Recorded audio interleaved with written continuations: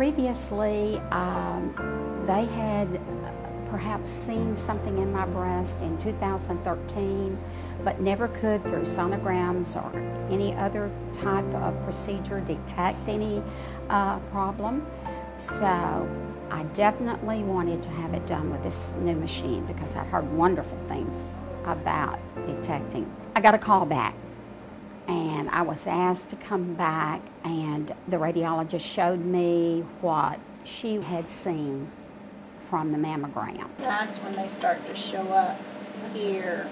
Really at that time not sure that that it was cancerous, but this new machine was able to pick up what they had not been able to see in the past. And the spot it was looking at was very, very tiny, very deep. The biopsy said that it was uh, malignant.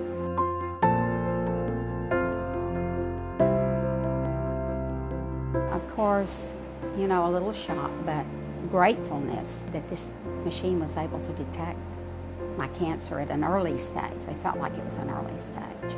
I will be honest about it. Uh, I felt a peace because at that time I had gone to see Dr. Hughes and she was so wonderful.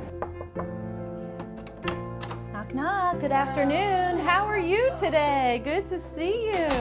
And I felt so cared for. And I felt that no matter what this the outcome was going to be, that I was going to be cared for, I was going to be okay. 3D mammography adds another layer of detection and the best type of mammography that we have to look through breast tissue of all types, whether it's fatty breast tissue, whether it's dense breast tissue.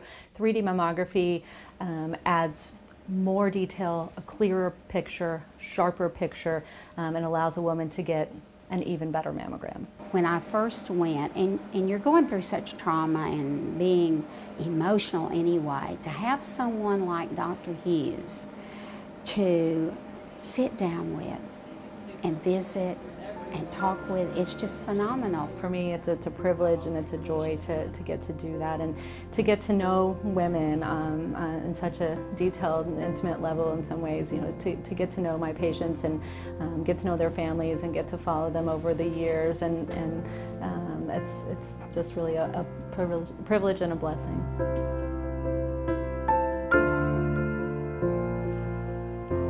I'll have to say, there are days that I think, wow, I went through something pretty tough. I feel grateful. I feel grateful.